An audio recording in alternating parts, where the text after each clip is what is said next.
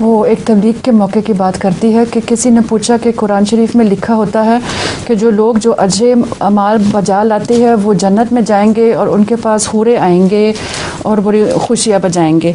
तो वो पूछ रहा था कि इससे क्या मुराद? है तो वो कहती, मैंने उसको कहा कि जन्नत में ये इस दुनिया का मियाँ बीवी का फ़लसफ़ा वहाँ इस तरह नहीं होता जैसे इधर होता है। और इस तो फिर वो कह रहा था अच्छा फिर जन्नत में इस्लाम नहीं होगा।